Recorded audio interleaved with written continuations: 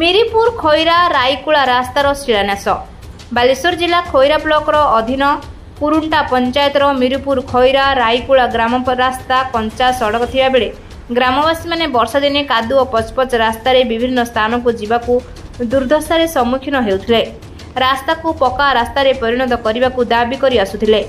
ଗ୍ରାମ୍ୟ ଉନ୍ନୟନ ବିଭାଗ ଦ୍ୱାରା ଅନୁମୋଦିତ ଏହି ରାସ୍ତା ପାଇଁ ଏକ କୋଟି ଅଣାଅଶୀ ଲକ୍ଷ ସତଷଠି ହଜାର ଟଙ୍କା ପ୍ରଦାନ କରାଯାଇଥିଲା। ଗତ ଗୁରୁବାର ଶିମୁଳିଆ ନିର୍ବାଚନ ମଣ୍ଡଳୀର ବିଧାୟକ ପଦ୍ମଲୋଚନ ପଣ୍ଡା ଏହି ରାସ୍ତାର ଶିଳାନ୍ୟାସ କରିଛନ୍ତି।